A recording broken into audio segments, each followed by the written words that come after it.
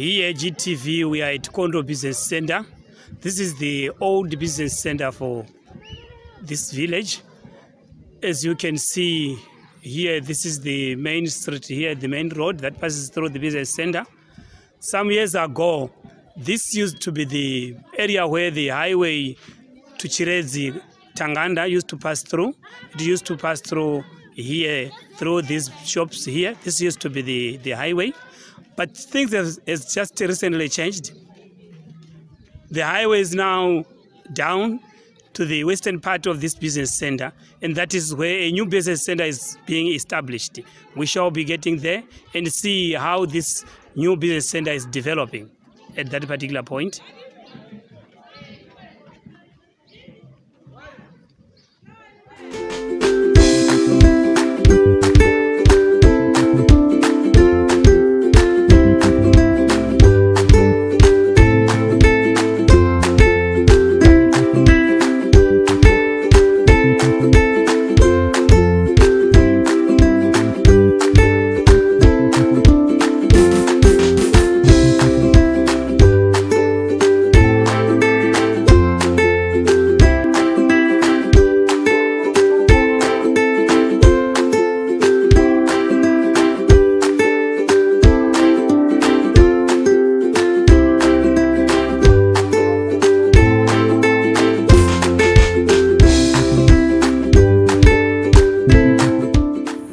We are now here at the newly established business center for Kondo Business Center.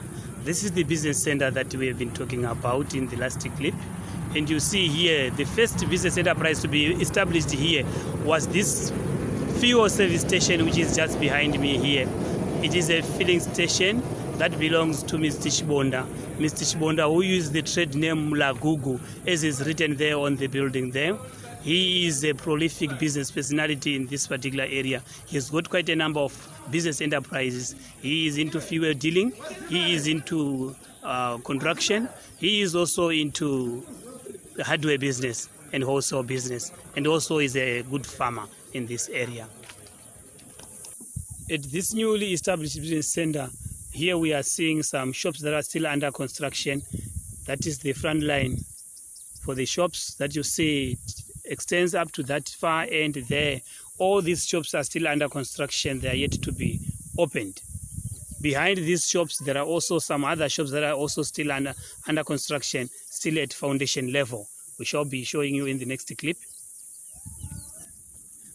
These are the backline shops that we see here that are still at foundation level. There is a lot of construction that is going on here. And also there is also still uh, some space in that far end that you see there. For whoever is interested in establishing a business enterprise at this particular newly established business center, there is still a lot of space for them to actually apply for their stands.